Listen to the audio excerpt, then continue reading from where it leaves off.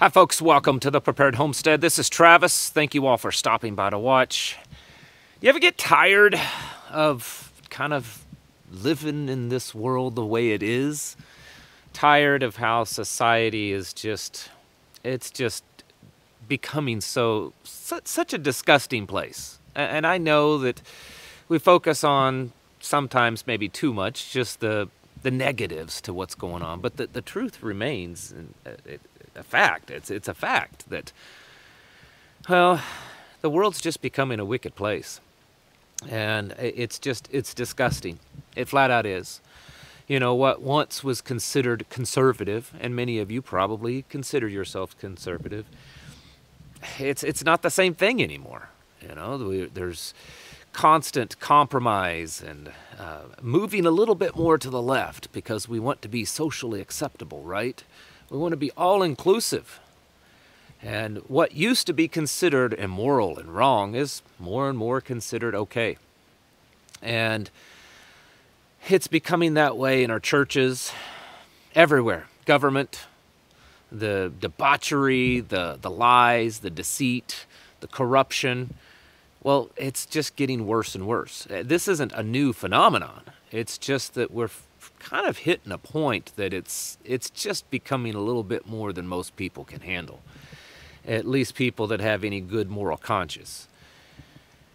Stuff that 15, 20 years ago would have never been accepted as a conservative ideology or philosophy is now becoming more and more acceptable our societies, our, our whole civilization is becoming this way. Uh, our, our, communities that, you know, even many that were once very solidly, you know, biblically founded, traditional family, conservative value, cons- uh, you know, communities are becoming, well, more and more accepting of, of all of this wickedness and worldliness. And you could say that this is just a, it's a fad. It's, it's a pendulum that's swinging but I want to ask you a question. When in your lifetime have you seen the pendulum swing back to being more traditional, more conservative, more moral, more biblical? When has it happened in the last century or so? Because I can't think of a time it has. It's just continually gotten worse. And I think that it's very biblical. I think this trend, this direction is biblical. And as much as some of you may not necessarily agree with this, I think most of you would, this has become a actually a, a, very important reason why I prepare, why I push community preparedness, family preparedness, why I push people to become more self-sufficient, why I push people to to really secede from society more and more, to say that this this world isn't my home. I'm I'm just passing through and I have no interest in being part of this evilness anymore. I have no interest in being part of this immorality and this corruption and this just constant woke left progressive agenda. I just I don't want to be part of it and I'm going to do everything I can to to live my life outside of it.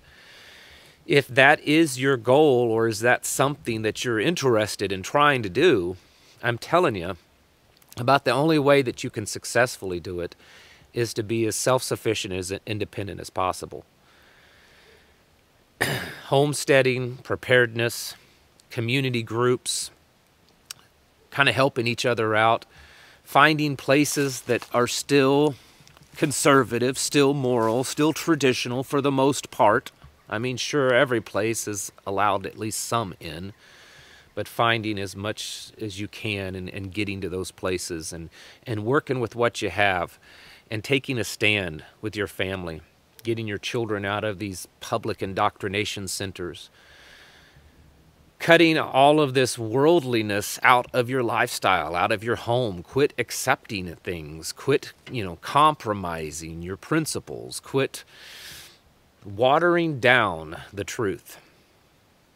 This is something we have to do.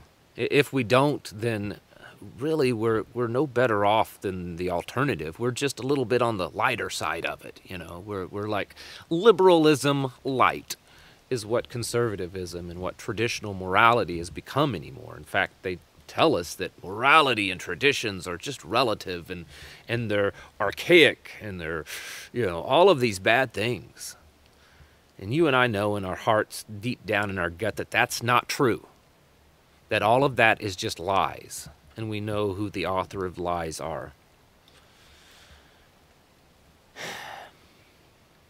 I don't have a solution for everything. I have a lot of people constantly asking, well, what's your solution to all these problems?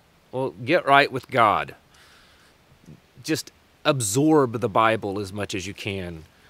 Build a strong relationship with Messiah, Yeshua, Jesus Christ. Build your family ties strong.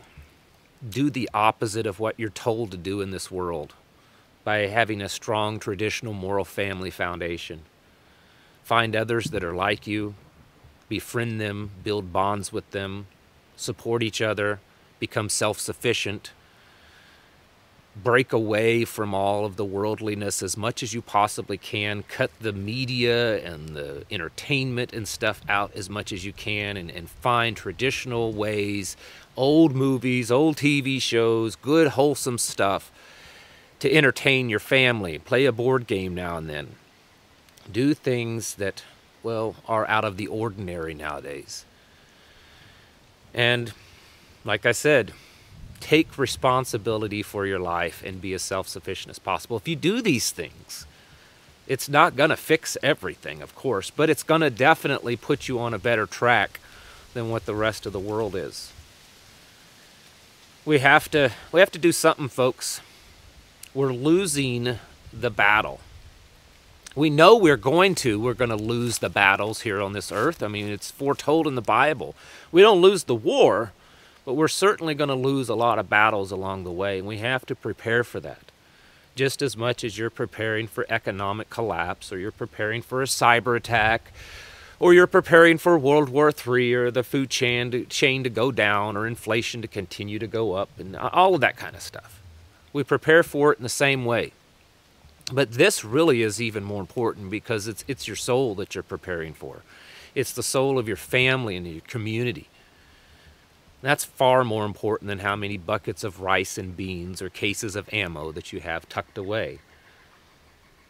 We need to be doing this stuff because, like I said, it, there's way more going on than all of this, you know, surface level, really, stuff like economy and war and all that. There, there's a whole lot more going on, folks, and it's evilness. It just flat out is like I said, it's in our communities, small communities, even rural communities. It's in schools, it's in the churches, it's, it's all over the place. It doesn't mean it's in every one of them, but it is all over the place. And we've got to not let it take hold in our lives, in our families. You got to be strong. Men, you got to be leaders, moral, biblical leaders of your home. Women, you've got to be moral, biblical mothers and wives We've got to bring back decency and morality, modesty, all of that kind of stuff. We got to bring it back into our homes and raise our children the way that God meant us to raise them and not the way the world tells us to raise them and the, the, the psychologists and all of that kind of stuff. Don't, don't listen to that stuff. Listen to your heart, listen to the Bible, because that's where you're going to find the truths. There's a lot going on. And I think there's a whole lot more ahead of us. We've got to get prepared for it, folks, because it's not going to be good when it all starts really falling apart. I mean, it's getting unraveled at this point. But when it really starts kind of losing hold and falling apart, I'm afraid it's going to be kind of kind of ugly. And not just in a chaotic way, but ugly in a just an evil, moral, immoral way. We need to be prepared for that, folks. Get your houses in order. Prepare mentally, physically, and spiritually. Thanks for watching. Catch you in the next video.